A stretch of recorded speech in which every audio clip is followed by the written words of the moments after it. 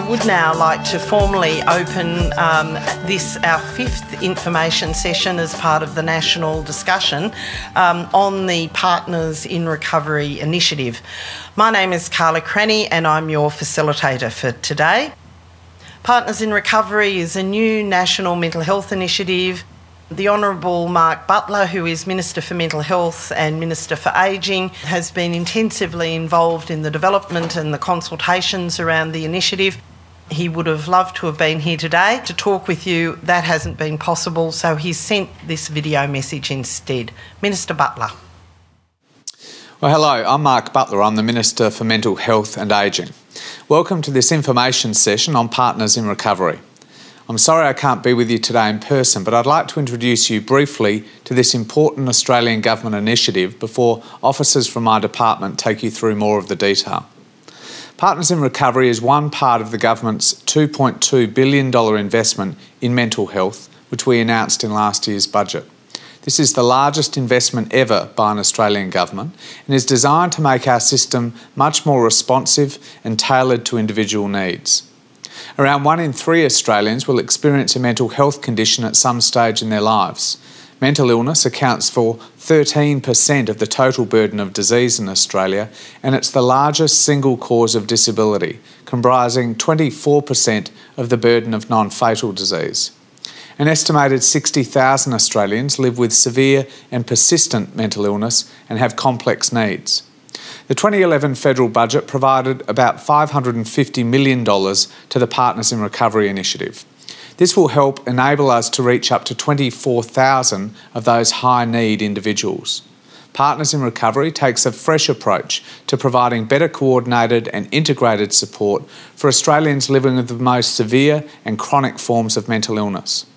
Tackling severe and persistent mental illness requires a complex system of treatment, care, and support requiring the involvement of many areas of government, including health, housing, income support, disability, education, and employment, to name just a few. The Australian and the state and territory governments, as well as the non government sector, all deliver programs for people with mental illness and to their carers. What the government has consistently been hearing is that care and support for those living with the most severe and persistent mental illness with complex needs is not adequately integrated or coordinated and too often they fall through the gaps in our care and support systems. Many of them are dealing with as many as 8 to 10 different agencies, which would be a daunting enough task for most people, never mind those who are among society's most vulnerable. Partners in Recovery will be the glue that binds together all of the separate strands of the relevant support services, getting them to collaborate and cooperate in providing a more integrated and collectively owned response from service providers. We want services and supports to be wrapped around individuals who live with severe mental illness rather than expecting them to traipse around town struggling to access the supports that they need. So we'll create new teams of dedicated support facilitators networks and partners in recovery organisations with dedicated resources. Suitably placed and experienced non government organisations will be engaged as partners in recovery organisations in each of the 61 Medicare local geographic regions across Australia, helping to improve the system response to vulnerable Australians. We hope to clear out the arteries of our service systems to get them working together for the benefit of those who most need our help.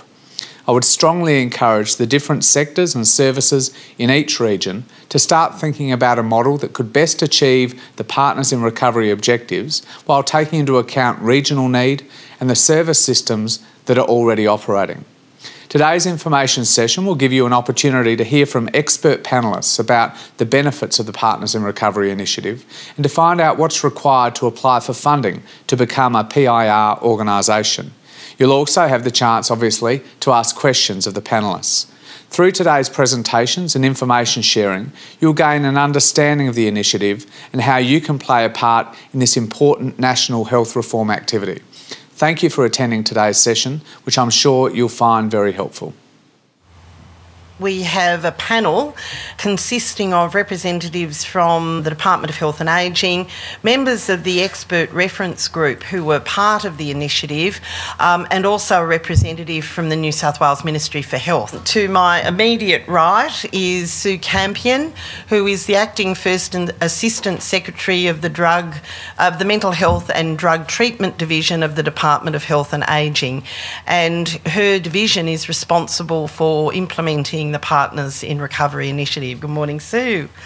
Um, on her right is Carmen Hinkley, who is the director of the section which has actually got the hands on management of Partners in Recovery. And I'm sure many of you will be communicating with Carmen and her team um, over the coming months. Um, sitting to Carmen's right is Alison Ritter, and Alison is one of the members of the expert reference group, which were appointed by the Minister to help shape uh, the Partners in Recovery initiative and grounded in service common sense. Um, Alison is from the National Drug and Alcohol Research Centre at the University of New South Wales. To her right is Janet Meagher, who is a mental health consumer, and she's the General Manager for Inclusion of Richmond PRA.